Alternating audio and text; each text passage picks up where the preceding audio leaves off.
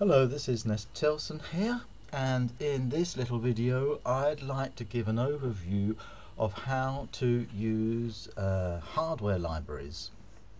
Now hardware is in Polyboard is um, well Polyboard does not uh, display hardware on the actual model but what we can do is we can display all the machining that is necessary to put the hardware onto the onto the bit of furniture and we can give a price to this hardware but it doesn't actually draw the hardware itself um, hardware uh, is in fact uh, anything we're going to add to the boards, the panels that we were joining together to make a bit of furniture. So this hardware includes of course dowels, uh, if you're using domino you can use domino um, as well as any metallic fittings which is really the, the hardware.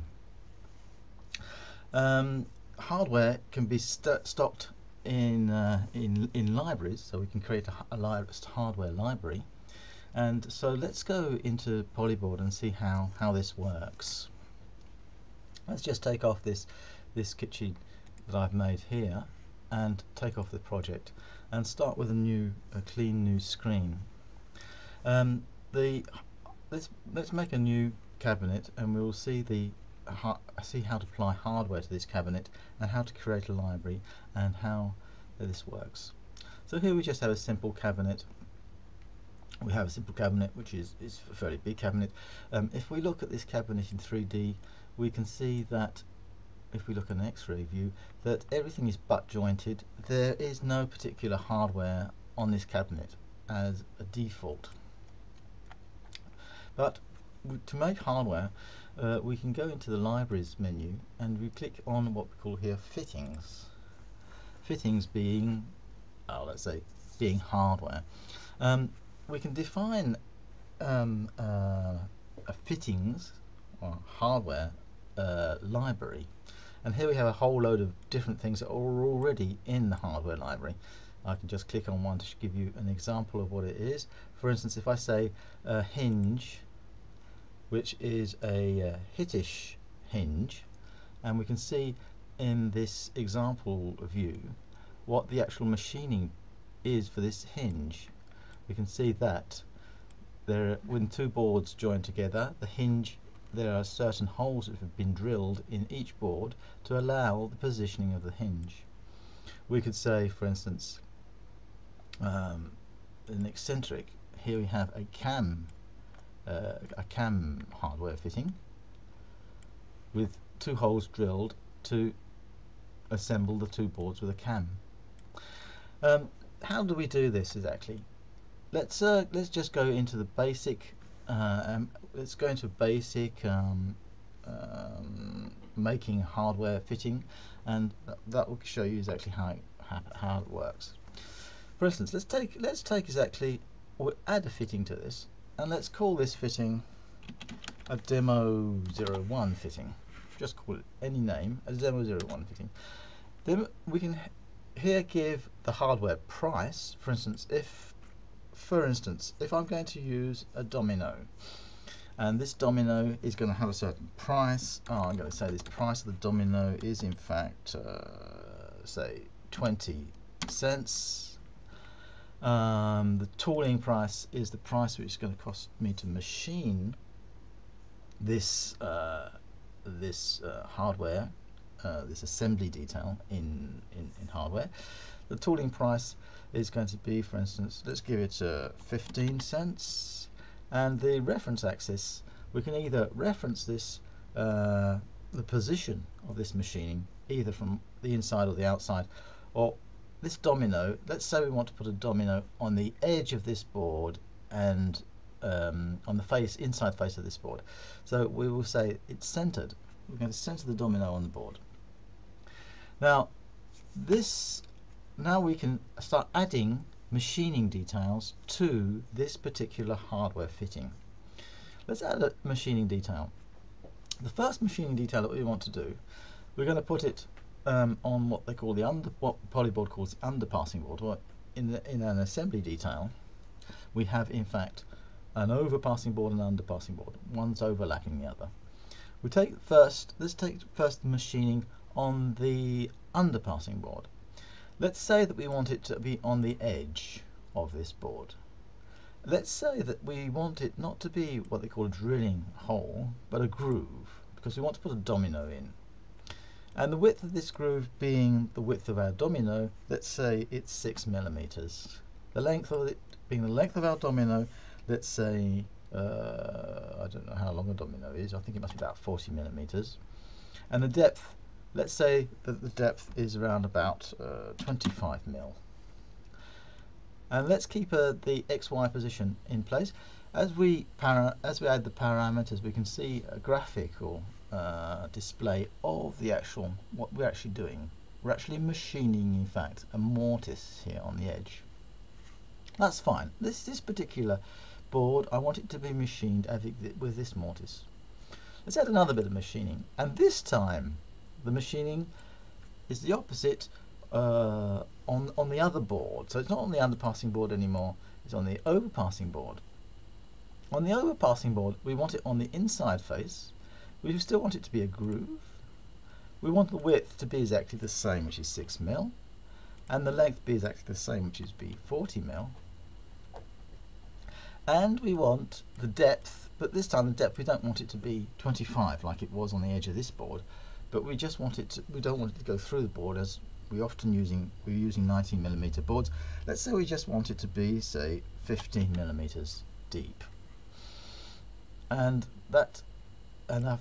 And now we see that we have here the graphical representation of the two mortises that will be machined to uh, assemble these boards. Let's just add two more details to this particular um, assembly detail this fittings. This is a this is a domino. Let's add, for instance, a hole. We're going to add a pilot hole so that we can drill two screws either side of the domino, and this is a particular type of assembly detail we want to use. So if we want, in this case, we want on the on the over on the overpassing board, the overlap board, on the inside face, why not? We want to drill a hole. Uh, of 4 millimeters in diameter. We want this hole to go through, uh, and we don't want it centered on the on the board on the assembly detail. It's not on the board, but we want it on a. We want to push it across the board, and we want it to push it across on the other side of the domino. So the domino is is forced so it's going to be 20, 20, 20, 20. Let's put it 30 millimeters on the other side. And here we can see but now we have a hole which is drilled 30 millimeters on the other side of the domino going through the board. Let's add another one. And we're doing exactly the same. Let's, um, on the overpassing board, the inside face would drill a hole of 4 millimeters and but and uh, it goes through and this time it will be minus 30. That will be 10 be on the other side here. And here we have the hole. One hole drilled here, one hole drilled here on this board. Now, what about putting a pilot hole? If, this, if we put a screw through this hole here, and we'll need a pilot hole to drill it to drill to uh, to drill into the screw into the edge of this board, and so the board doesn't split. Let's put a pilot hole in it, which is getting a bit complicated, of course, but it doesn't really matter. This is the on the edge of the underpassing board. We will drill a three millimeter pilot hole, and it will have a depth of uh, say 25 mil, with an X position, the same X position of 30. And now we have it here well, let's put it a bit diameter. Let's put it a bit smaller. Let's put it two millimeters. Two millimeter diameter hole, pilot hole here. One more on the other side, exactly the same on the edge, and it will be let's say two millimeters pilot hole going to 25 mil with an X position this time of minus 30 and here we have a second pilot hole now this is an assembly detail that I've made just very simply and we see it graphically as we build the assembly detail. And the assembly detail being made up of a sort of false tenon, a domino, uh, two side holes which are drilled through to put screws, and two pilot holes in the edge to stop the board splitting. Let's say this is fine. We call this demo 01 and we say that this particular assembly detail is fine. How do we put it onto a board? Here we have a board. Now we can put one assembly detail onto this board, but um, in general, this assembly detail, um, I mean this bit of furniture, the assembly detail um, is associated in Polyboard with an assembly rule. Is how is this assembly detail, this bit of hardware, distributed along a board, along an, along an edge. Um, the way it's distributed, an assembly detail is therefore associated with what we call in Polyboard a rule. Here we have the rules library. A rules library is simply how do we put how do we put the assembly detail, how do we put the hardware on the board. For instance, in this particular assembly detail, we could say that along a board, we don't want the assembly detail to be too near the edge. So we could say let's add let's add the assembly detail, and we call this assembly de no this is what they call a rule here of how we place this assembly detail. Let's call it as well demo 01 just for the example. When we add demo 01, we can say that we can say the distance between each bit of hardware or each assembly uh, fixing. We can give it a distance that is between, for instance, our dominoes so let's say that between dominoes we have at least 200 millimeters. Let's say that um, the beginning of the um, the beginning of near the first left edge. Let's just say it has to be offset um, at least 80 millimeters. But on the right side of the board, you can see here, 80 millimeters here. On the right side of the board, we'll put, we want 100 for some reason. Uh, doesn't really matter. Let's put 100 there. I say okay. Now let's let's put this assembly, the assembly detail we made in the fixing fixing library, together with the way we want it to be spaced out on the board edge, and let's put it on this cabinet. Let's put it here, for instance. Let's say let's let's select the sign and let's say with the top fittings links here in this option here left side with the top we want to add a fittings links and the fitting that we want is the one that we've just made which is called demo 1 and the rule which associated with this is also called demo 1 and let's say OK and let's have a look in 3D now in 3D we can see that the assembly detail you've just made is actually distributed along the edge of the board with 80 millimeters from the axis from the front and 100 millimeters from the back here. We have the dominoes with the two pilot holes that are distributed along the board. This is great, we've just put that as an assembly detail on that particular edge. There's another thing that we can do. We can use uh, a global library application, a global, um, what they call manufacturing method, that defines that when two boards meet, that that will always have this fitting detail with this rule. So let's put in, let's go, let's let's do this on this bit of furniture. Let's use a manufacturing method and just take a sub method which is called a fittings links method. Uh, how we distribute the fittings or the bits of hardware along this particular project. Let's say that we want this time, uh, let's say the overlapping panels or the overpassing panels, everything that's sides, all the sides that that fit to the top and the bottom. And we want the fittings link, we want the fitting demo 1, and we want to use the rule demo one. And I want to say on all these panels whatever. And I click OK and I apply it to this cabinet.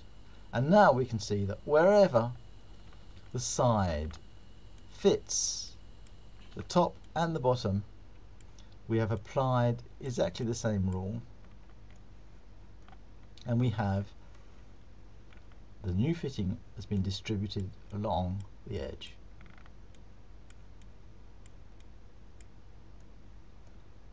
Okay, this is interesting. Let's have a look at what Polyboard does if we say, let's have a look at a side by itself. Here we have a side. And here we have in 3D the machining, the two holes that go through and the mortise for the domino. And if we have a look at the top let's select 3D view of the top. And the top we have here the mortise on the edge with the two pilot holes for the screw. And so there we have it. Very neat eh and this is now a manufacturing method that we can apply to any bit of furniture. So we just say for instance this bit of furniture let's re you know see how supple this is. For instance this bit of furniture is got an overall size of 600 millimeters depth of 600 millimeters. But let's make it twice that. Let's make it 120 uh, centimeters wide huh? 120 centimeters wide uh, of course the width is, is this is of importance for this particular because it's along along the depth of this side. Well let's just make it 100 a, thou, a thousand mil and the height we'll make a, height something simple, simple as well. Uh, one meter high. Well if we look at this in 3d we can see that the fittings they've added his ad, fittings have been re-added because the rule definition has stayed the same distance from each edge and they've been spaced out at um, the distance that we we said in the rule and they've added fittings to this particular box. So you see the with this method this uh, fittings method will be applied to any bit of furniture that we can build instantly and adapted. Thank you very much for looking at this little video and I hope it's been of interest to you and and I hope it's shown you how powerful these um, the the libraries, the manufacturing methods libraries can be for making furniture really quickly. Goodbye, thank you.